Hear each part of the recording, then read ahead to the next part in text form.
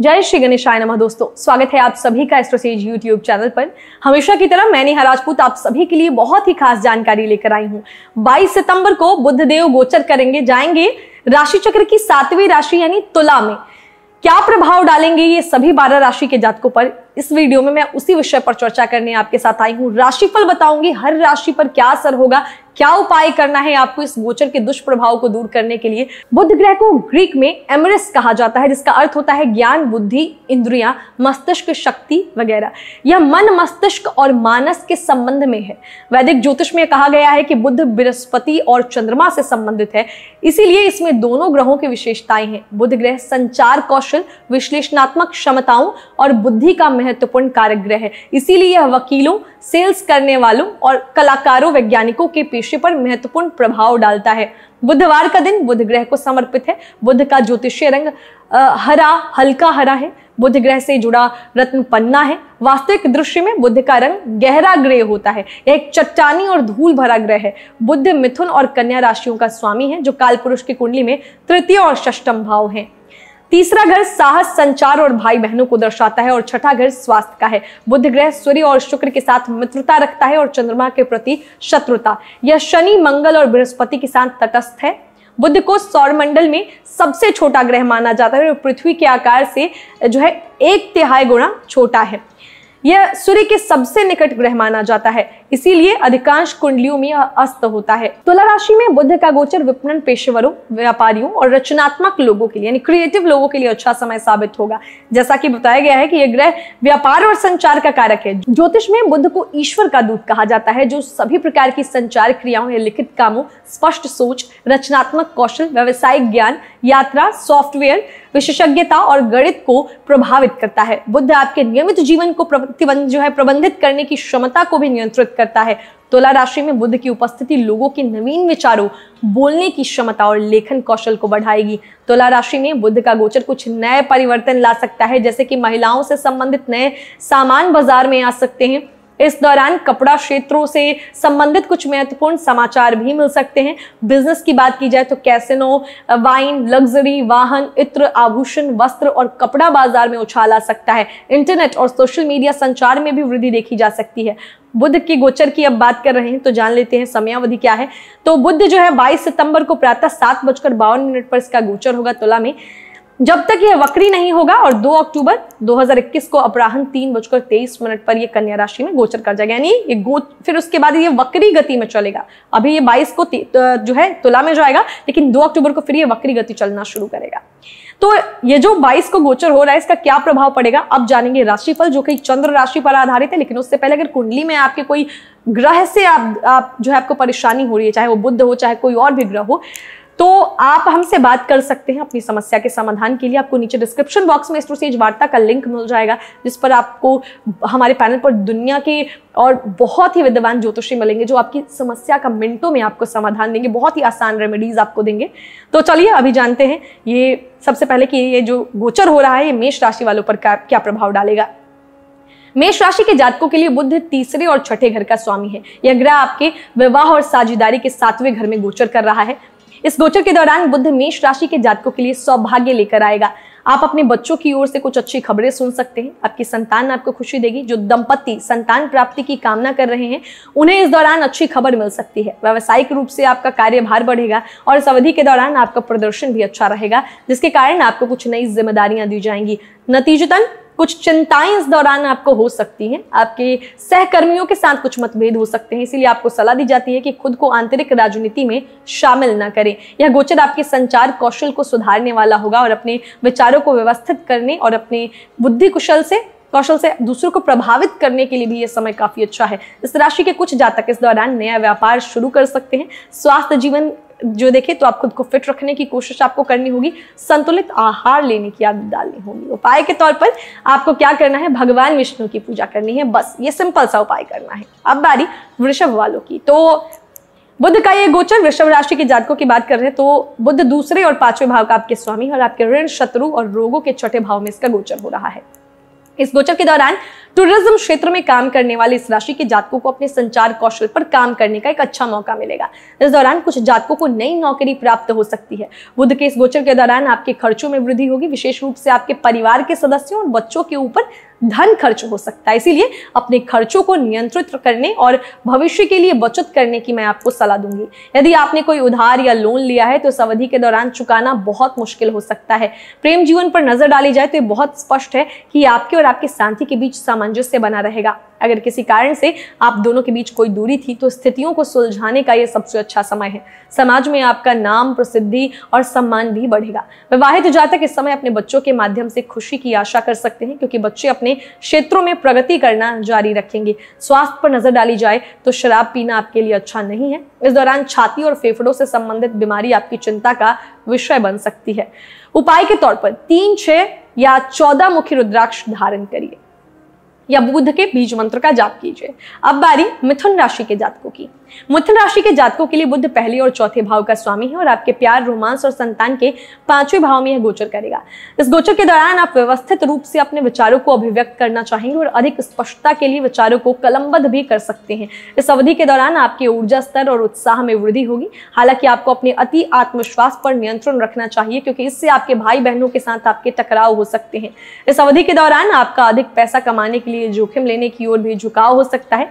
इसके अलावा आप सट्टेबाजी के प्रति भी आप झुकाव महसूस कर सकते हैं, लेकिन आपको समझदारी से निर्णय लेने की ज़रूरत है, क्योंकि ऐसे कामों में लाभ होने के बजाय बड़ा नुकसान भी हो सकता है। पेशेवर रूप से कुछ कंपनियों के साथ नए समझौते करने, नए उद्यम शुरू करने की संभावना है, और आप इस चरण के दौरान व्यवसायिक प्रस्तावों में नई परियोजनाओं पर ध्यान केंद्रित करेंगे। रिश्ते नातों पर नज़र डाली जाए तो आप अपने परिवार और करीबी दोस्तों के साथ गुणवत्तापूर्ण समय बिताएँगे, और हर प्रकार की मनोरंजक गतिविधियों में शामिल होंगे।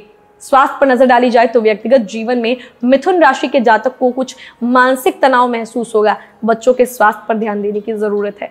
उपाय क्या करना है? तो बहुत सिंपल है उपाय। हरी घास पर नंगे पैर चले। अब बारी कर्क वालों की। कर्क राशि के जातकों के लिए बुद्ध तीसरे और बारहवें भाव का स्वामी है और यह ग्रह संपत्ति और माता के आपके चतुर्थ भाव में गोचर करेगा। इस गोचर के दौरान आपका संचार कौशल बढ़ेगा और यह आपको सभाओं को संबोधित करने, संदेश भेजने या अपनी बातों को प्रियजनों के सामने व्यक्त करने में भी मदद करेगा। इस गोचर के दौरान आपको शांत और संयमित प्रकृति के साथ पारिवारिक मुद्दों पर ध्यान केंद्रित करने और स्थिति को संभालने की ज़रूरत है और विशेष रूप से अपने भाई बहनों के साथ मतभेद या वाद विवाद की स्थिति से आपको बचना चाहिए। अपने खर्चों पर नियंत्रण रखें और इस बात का ध्यान रखें कि आप कितना खर्च कर रहे हैं।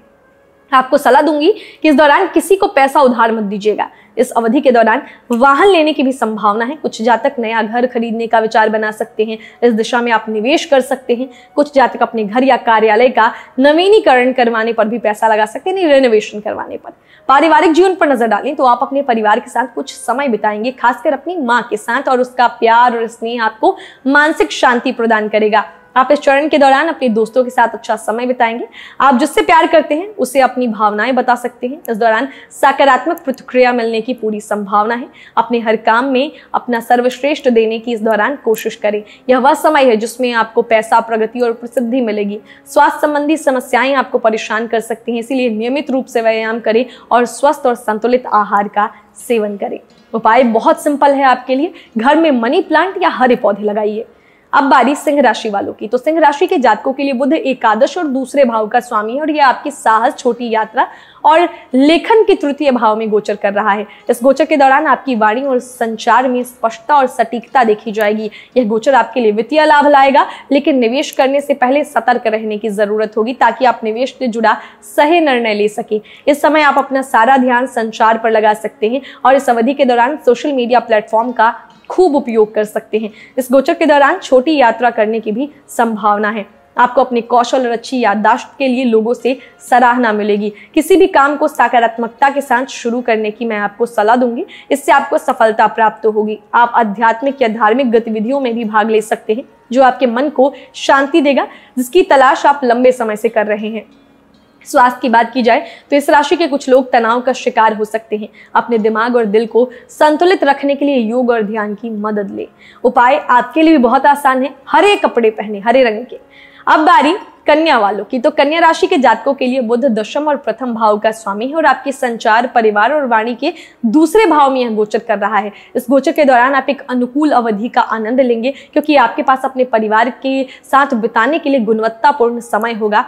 और आप परिवार के सदस्यों की अच्छी देखभाल करेंगे और उनकी जरूरतों के लिए धन खर्च करने में संकोच नहीं करेंगे। आपको अपनी वाणी पर ध्यान रखने और कठोर शब्दों का उपयोग करने से बचने की ज़रूरत है। वित्तीय रूप से सावधान रहें और योजनाओं या सही बजट प्लान बनाकर चलें। यदि आप बुद्धिमान हैं तो बुद्धि का सही इस्तेमाल करके आप धन कमा सकते हैं। इस अवधि के दौरान गणित, भौतिकी, सांख्यिकी या अर्थशास्त्र जैसे विषयों से जुड़े विद्यार्थियों को अच्छे फल मिलेंगे और वो अपने विषयों को समझ पाने में सक्षम होंगे।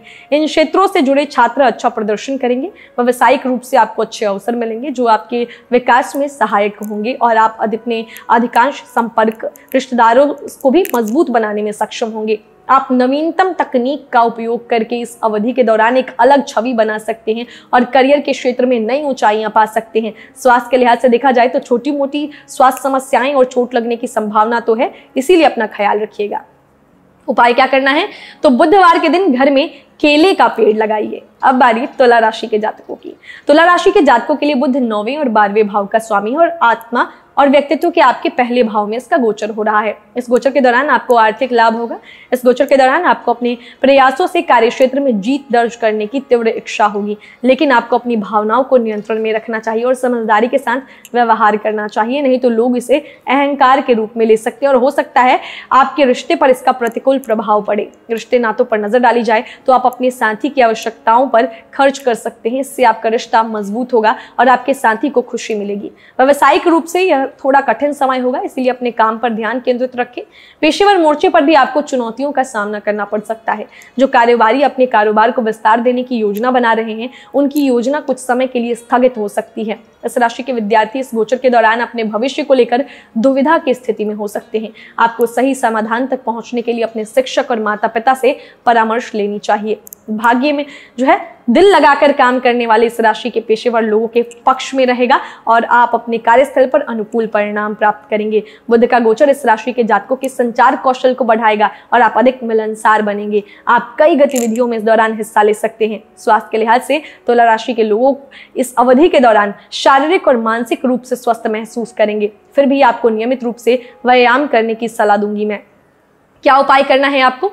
अपने जीवन को सकारात्मकता अपने उसमें लाने के लिए विष्णु सहस्त्र नाम स्त्रोत का पाठ कीजिए। अब बारी वृश्चिक राशि वालों की। वृश्चिक राशि के जातकों के लिए बुद्ध आठवीं और ग्यारहवें भाव का स्वामी है और आपके विदेशी लाभ, हानि, मोक्ष के बारहवें भाव में इसका गोचर हो रहा है। इस गोचर के दौरान आपको अपने संचार को बहुत सीमित रखना चाहिए और किसी से भी बातचीत बहुत सावधानी से करनी चाहिए। बारहवें घर में बुद्ध आपको अत्यधिक महत्वाकांक्षी बनाता है, जो आपके लिए बहुत अच्छा नहीं कहा जा सकता।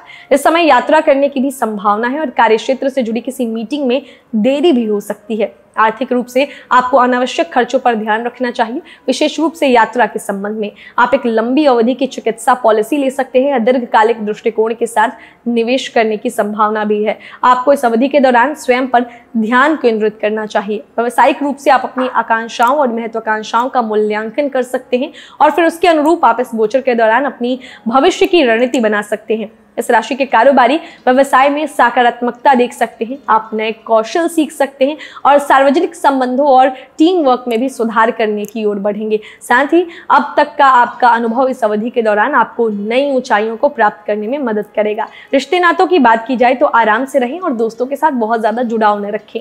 आपका प्रेम और वैवाहिक जीवन जो है अच्छा रहेगा, बस किसी भी टकराव से बचने के लिए अपनी वाणी पर नियंत्रण रखें। नए दोस्त बनाएँ और उनकी संगति का आनंद लें। स्वास्थ्य जीवन पर नज़र डालें तो अत्यधिक शराब पीने और धूम्रपान करने से बचना है, नहीं तो स्वास्थ्य से जुड़ी बड़ी परेशानियाँ होने की संभावना है। उपाय के तौर पर बुधवार के दिन घर में केले का पेड़ लगाइए। अब बारी धनु राशि के जातकों की।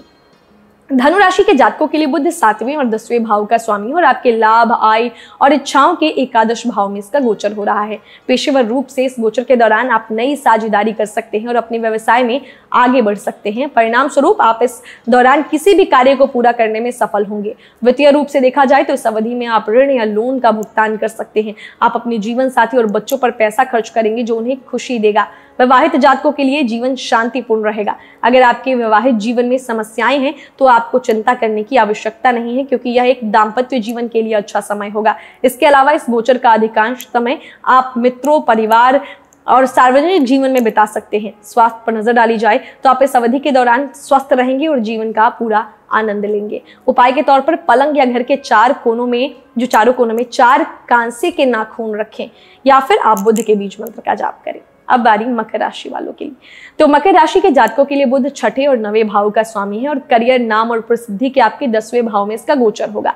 इस गोचर की अवधि में जो है ये आपके लिए अनुकूल रहेगी क्योंकि यह आपको अपने कार्यस्थल पर सफलता दिलाएगा और यदि आप किसी उद्योग या कंपनी से लंबे समय से जुड़े हैं तो आप तरक्की की उम्मीद कर सकते हैं। इस गोचर के दौरान कारोबारी जातक भी लाभ प्राप्त कर सकते हैं। आप अपनी अपूर्ण परियोजनाओं को भी पूरा करने में सक्षम होंगे। इसके साथ ही यह समय उन लोगों के लिए अनुकूल होगा जो अपने व्यवसाय का विस्तार करना चाहते हैं। इस गोचर में जीवन को बेहतर बनाने के लिए कई अवसर आपको मिलेंगे। नौकरी में बदलाव के चांस भी हैं। इस राशि के कुछ जातक विदेश में भी जॉब पा सकते हैं। जो लोग बैंक और वित्तीय संस्थानों आदि में कार्य करते हैं, इस अवधि के दौरान लाभ प्राप्त करेंगे। पारिवारिक जीवन पर नज़र डालें तो यह रिश्तों को मज़बूत बनाने का समय है। इसके अलावा इस अवधि में आपकी क्रिएटिविटी खिलेगी। स्वास्थ्य जीवन पर नज़र डालें तो आप इस अवधि में अपने स्वास्थ्य को लेकर थोड़ा चिंतित हो सकते हैं। इस अवधि में आपको खान पान का ध्यान रखना चाहिए और आसपास स्वच्छता बनाए रखनी चाहिए। अपने शरीर की अच्छे से देखभाल करें और काम के साथ आराम भी करें। उपाय के तौर पर घर में अपने पूजा स्थल में कपूर का दिया, जलाइए। बहुत सिंपल उपाय है। अब बारी कुंभ वालों की। तो कुंभ राशि के जातकों के लिए बुद्ध पाँचवें और अष्टम भाव के स्वामी और आपके धर्म, भाग्य और यात्रा के नवे भाव में इनका गोचर होगा। इस अवधि के दौरान आप धर्म, पिता, लंबी दूरी की यात्रा, ससुराल पक्ष के लोगों के साथ संबंध पब्लिशिंग उच्च शिक्षा जैसी चीज़ों पर ध्यान केंद्रित करेंगे। भावनात्मक जिम्मेदारियों से आपको इस दौरान मुक्ति मिल सकती है। यह वह समय है जब आप अपनी योग्यताओं का सही इस्तेमाल कर सकते हैं। वित्तीय रूप से आपको यह सलाह दूँगी मैं कि ऐसे निवेश से बचे जो बहुत लंबी अवधि के बाद लाभ प्रदान करते हैं, उस योजना में भी निवेश ना करें जिसे आप समझ नहीं पा रहे हैं, क्योंकि इससे आप गलत दिशा में जा सकते हैं और नुकसान उठा सकते हैं। किसी मीटिंग या किसी के साथ मुलाकात के दौरान बातों को स्पष्ट रखें ताकि किसी तरह की गलत फहमी पैदा ना हो। रिश्ते नातों में आपको ज़रूरी प्रयासों की आवश्यकता है, क्योंकि इससे व्यक्तिगत और पेशेवर जीवन में संतुलन बनेगा। स्वास्थ्य पर नज़र डाली जाए तो यह अवधि आपके लिए अनुकूल रहेगी। उपाय के तौर पर भगवान विष्णु की पूजा करें और उन्हें कपूर अर्पित करें। अब बारी है मीन राशि के जातकों की। तो मीन राशि के जातकों के लिए बुद्ध चतुर्थ और सप्तम भाव का स्वामी है और आपकी अचानक लाभ हानि मृत्यु के आठवें भाव में इसका गोचर हो रहा है। इस अवधि के दौरान व्यवसायी और नौकरी पेशा लोगों को चुनौतियों का सामना करना पड़ सकता है और जीवन में उतार चढ़ाव आ सकते हैं। आपके पेशेवर जीवन में बाधाएँ देखी जा सकती हैं। अपने विरोधियों से सावधान रहें क्योंकि वे इस अवधि के दौरान सक्रिय रहेंगे। शोध कार्यों से जुड़े छात्र अनुकूल समय का आनंद लेने वाले हैं, यानी रिसर्च से जो लोग जुड़े हैं। इसके अलावा आपके कार्य जो है, को नई गति और दिशा प्राप्त होगी। वित्तीय रूप से आपको अपने घर और वाहन के लिए बीमा पॉलिसियाँ लेनी चाहिए, ताकि भविष्य में आपको इसका लाभ प्राप्त हो सके। रिलेशनशिप में अपने संचार को लेकर सावधान रहने की ज़रूरत है। जीवन साथी या पार्टनर के साथ किसी भी तरह की मिसअंडरस्टैंडिंग से बचने की कोशिश कीजिए। विचारों में अंतर होने की संभावना है। स्वास्थ्य जीवन पर नज़र डालें तो आप जो है कुछ समस्याओं का सामना कर सकते हैं तो इसीलिए थोड़ा सा आपको अपने आहार पर ध्यान देने की ज़रूरत है। आपको पर्याप्त पानी पीना चाहिए और फिट रहने के लिए नियमित रूप से व्यायाम करना चाहिए। उपाय के तौर पर, बुधवार को गरीबों और जरूरतमंदों को फल अर्पित करें।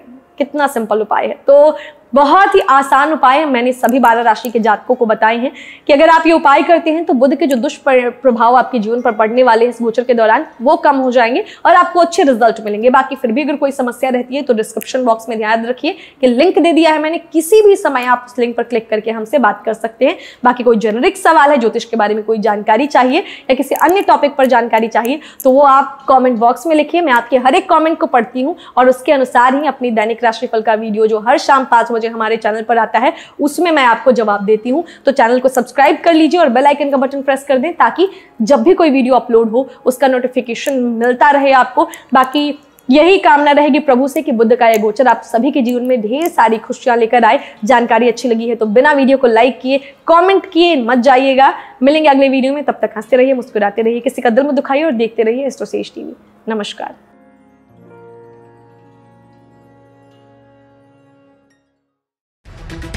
For regular updates, follow our Instagram page right now.